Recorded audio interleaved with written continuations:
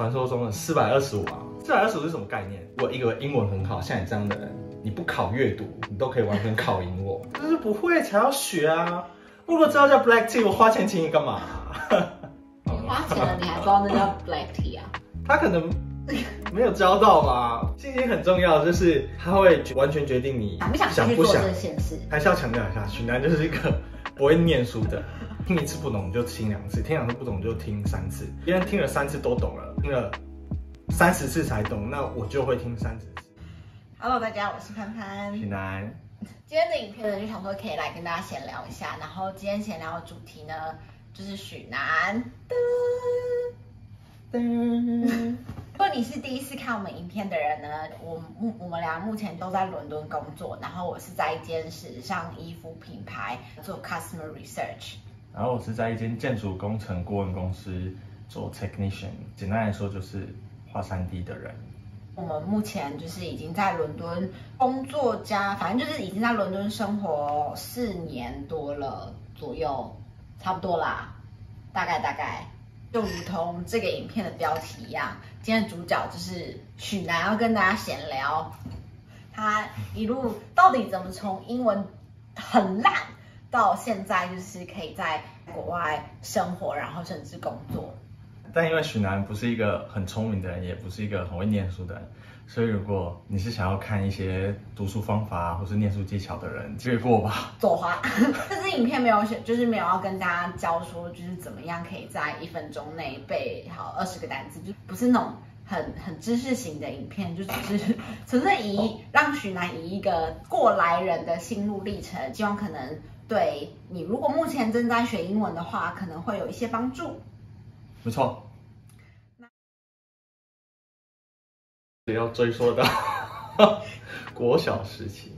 其实从小到大，我我本来就不是一个会念书和喜欢念书的人，所以五年级之后就加入了篮球队，然后一路到了国中，进了金华国中。他也不是体育班，也不是体保生，其实我就是一般生，但基本上不就是去打篮球的练球，我是为了。篮球进金华国中没错，但我是一般生，我也没有体保生，我被分配到一般的班级。OK，好。对，基本上以前国中桌子都有那个透明垫啊，我的垫回来都是堆得剩山一样，因为下面全部都是各科的考卷，我从来都不写，然后上课也都在睡觉这样。到了高中之后，就是以体保生的身份进了成功高中。那有趣的是，呃。一样没有在念书，对，没有在念书，基本上每一学期就是最低分通过，六十分就是六十分。我觉得你不是老师同情你，应该就是老师同情我，都不知道我考试考了什么，但反正每次每次都是六十分。大学英文你记得你多少考多少？大学英文学测学测会数九之类的吧？哦，九吧，九还是六啊？忘了。九跟六差蛮多的。对我来说差不多。OK，反正所以就是从从小到大就是就是在打篮球的人，然后就是也没有什么在念书，也没有人会要求你要念书，对啊，因为学好英文。那你你以前是不是也觉得就是英文好不好根本不重要？对啊，我以前一直觉得英文不好的人就是还是活得好好的。我进任何产业，我英文不好，我可以待在台湾，我一样有工作，我一样拿薪水，没有什么不好，没有一定要学英文。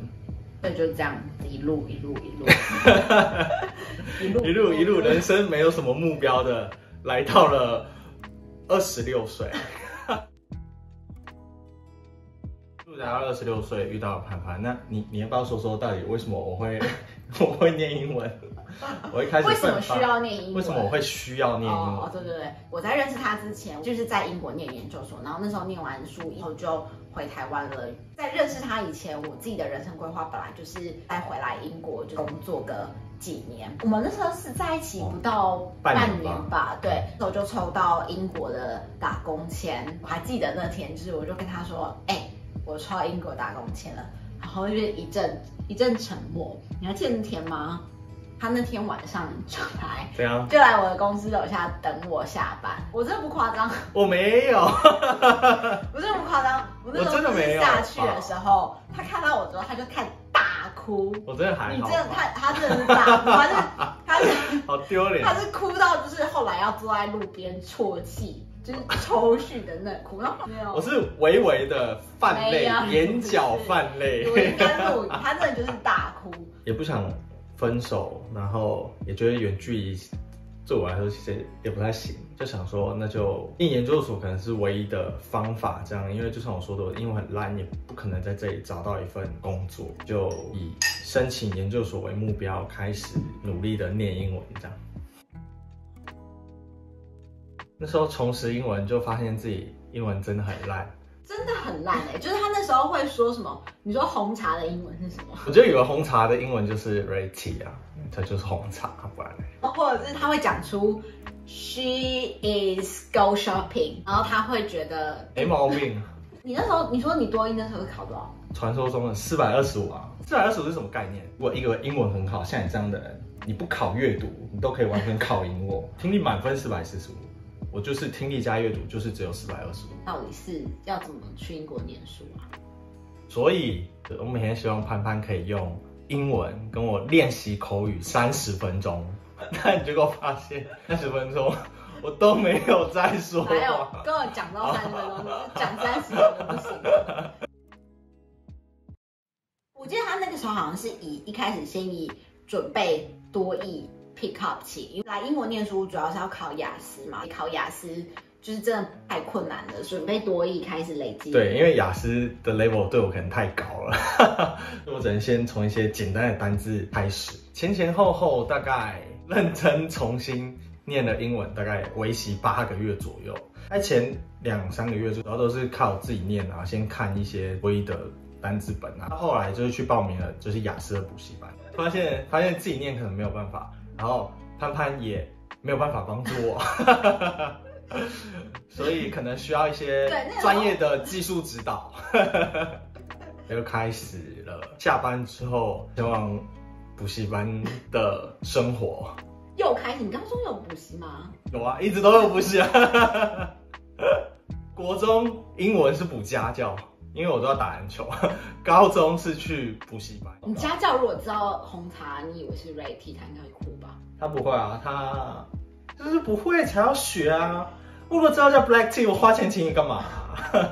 你花钱了，你还不知道那叫 black tea 啊？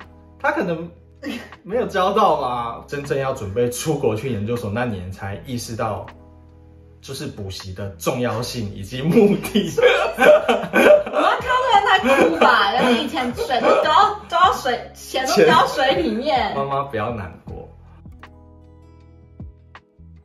如前述哦，许南不是一个很会念书的人，所以不太知道怎么有效的安排一个学习计划。但我有会去买一个很大本的日历，然后在每一格写下，比如说我这个礼拜要完成多少进度啊，那个礼拜要完成多少进度，然后预计在几天呃，例如在几个月后考第一次的雅思。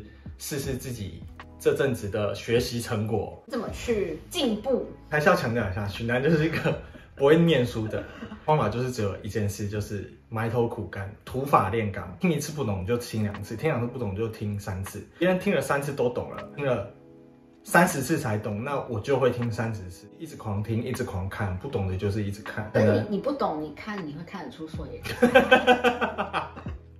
哎，好问题耶。当然也不是这样浪费时间看下去，就应该是说我会花比较多时间去学一件事情，比起会读书或是聪明的人，因为还有正职的工作，所以基本上平常就是下完班之后就是直接去补习班，然后上班上到十点再回家，周末两天都是泡在图书馆，差不多就是大家很熟悉一些念英文的方法，就让自己不知道都只有英文，像是听英文的广播啊。哦，你有听哦，不要一直做一些自己没有做的事哦。你有去图书馆吗？有，除了念补习班的教材之外，背单字啊，然后听广播啊，听 podcast，看电影，学着不看中文字幕啊，等等，就是有尝试在这半年这么做了。半年就是潘潘提早来英国，所以这半年其实就是我自己一个人先留在台湾念英文。对于我来说，那个心境就有点像奋力一搏、孤注一掷、背水一战的感觉，就是没有退路了。就当你有了一个最终目标的时候，你就会知道你要往哪个方向走，你就会知道你要干嘛。我不会觉得那个很累，因为我在朝着我要的目标前进，所以我我不会觉得它很累，我只是想要达到我想要的目的。对，对对我来说，那那时候我的脑子里想的事情是我要申请到研究所比较重要。下班去补习，十一点才回家，嗯。都没有周末都没有出去玩，我好像没有太在意那些事情。嗯他说的很对，就我觉得你把你的目标放在远一点的地方，应该这么说啊。我觉得把英文学，把一个语言学好一件这件事情，然后有一个更远的目标在那里，然后你只是透过学把英文学好这件事情到达那里。应该是学英文可以帮助你更快到达你要的地方，或是去达成你要的目的。这个时候学英文，就如果你的你的目标今天只是单纯把我要把英文学好，你会不知道哪里是好。嗯，因为我觉得把英文学好这件事情可能太大了，很广，它很像是一个无底洞。但如果你今天把你的目标设在 OK，好，我想要多一考到九百分，你自己有有先设定一个目标在那里的时候，你会比较知道这个过程中你会知道要怎么去修正。而且我觉得那个目标要对你自己有好处。雅思要考到七分，为了满足我个人的成就感，就是对我来说有些，人来说，成就感很重要。我可能是不是那种人。你的那个目标是你做完那件事情之后，你自己会 benefit 到的。然后那个 benefit 不是只是哦，我英文变好了，做完那件事情，你可以得到的好处是很是大的。对，是大的，是广的，而且你之后可能可以得到更多东西。所以那时候英文真的很不好的时候，我那时候设定目标只有说我希望我可以申请上研究所而已，我甚至没有哎、这个这个蛮这个蛮目标蛮大的、对。但是我我我自己设定目标，我会去思考我要达到这件事情，我必须满足几个条件。说，我来帮你总结一下。你刚刚讲的是，就是你自己设了一个目标之后，我你就是可以往回推，再自己帮自己多设一个中继站吧。我觉得它有点像是跑马拉松的概念，你不可能一次跑，你中间都不都不休息，都不 check，给自己一些信心，直接跑到终点。我觉得这根本很少人可以做得到。但我觉得你自己知道说，OK 好，我的目标在这里，然后你在这里，然后你中间就是多设几个中中继站，比如说去考模拟考啊。OK，我第一次想要模拟考考到多一六百分，第二次想要模拟考考到七百分。学英文还有一个很重要的重点，就是你一路上你要一直给自己信心。对，信心蛮重要，信信心很重要，就是它会完全决定你想不想继想不想续做这件事？我觉得在我在我来英国之后，有很大很大的帮助。当你生活在周遭都只有英文这个语言的时候，你会不得不被逼着去学习。去使用这个语言对。口说这部分，我觉得我可以补充一下，就是申请英国研究所的时候，口说其实也是我蛮弱的一环，完全就是取决于有没有很常在使用这个语言，有没有常在使用这个语言是第一点，第二点是敢不敢说，第二点比第一点还要更重要。台湾人其实英文普遍都还不错，就说这件事情一直都是大家可能会比较 struggle 的。的一个部分，我自己的经验加上许南的经验啦，就是你一定要敢说，英国研究所就是分三个学期，最后一个学期就只有只有论文，空闲的时间蛮多的，所以我那时候就有去一个咖啡厅打工。我觉得去了咖啡厅打工之后，我的口说就是变得更好，可能是在那个时候，因为就是你会站在 TIL，你会跟客人介绍你们的东西啊，跟客人聊天，嗯就是会让你变得更敢说。因为我觉得对啊，因为我觉得，所以我刚刚才说，就我觉得你第一个是你要先不怕，你可能你那个时候可能每天简单讲的英文，也就是很简单的句子而已。对，但是但是久而久之之后，你就会习惯用这个语言去跟人家沟通，你就不会觉得紧张害怕，你就是很简单的，就像平常在说中文那样，嗯。自然而然的讲使用这个语言跟别人沟通。嗯，其实应该现在台湾也有很多资源啦，比如说去语言交换，因为我台我记我觉得台湾应该网络上面也有蛮多，就教外国人讲中文，他教你讲英文，倒也不是说教啦，就是你去找一个可以让你有机会去说英文，花听的，你不要这样子。网络这么发达的情况下，你一定可以找到一个适合你自己的方法，然后你一定不要怕说错。我英文或者是任何语言，它最终的目的都只是为了沟通。要你说的东西别人听得懂，那他就达到他的目的了。可以用很简单的句子去表达你想要的东西，那别人懂了，那也是一个自信心提升的过程吧。我自己有一个小小的，也不是 tips 吧，就是一个小小的心得可以跟大家分享是，我觉得你要开始英文说的溜这件事情，你一定一定要想办法，不要在脑中你在讲英文的同时，你脑中不要想着中文，你的大脑。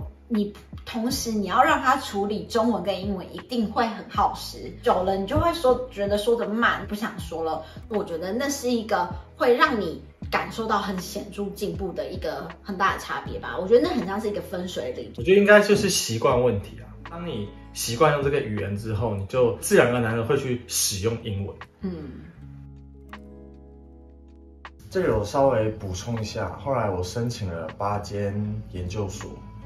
然后拿到了四间 offer，包含 Westminster、Liverpool、South Bank，还有 Sheffield，然后都是跟建筑相关的科系。今天跟大家闲聊了这么多，我们好像都在乱聊哎，没有就是告诉大家一些有用的方法。我觉得啦，我偶尔在看，比如说有一些 YouTube 影片啊，可能有有些女生就是讲英文讲的非常流利。他们可能有那个机会，就是可能从小大爸妈就是送出国念书啊，或者是从小就是送去全英文学校。我觉得那些例子可能都是比较极端，所以举南跟大家闲聊一下他自己的心路历程，也希望就是有 motivate 到大家。就是希望这支影片可以就是激励一些英文也不好的人，不要担心，我都可以做到。这是什么？这是编什么鸡汤节目？总而言之，主要这支影片的目的是告诉那些可能和我一样从小就不太喜欢念书，或是不会念书，然后英文也很不好的人，就是千万不要放弃这样，因为连我都做得到了，所以你应该也可以。Action！大家好，我是潘潘。重来。重来，重来，重来！我镜头恐慌症，再次。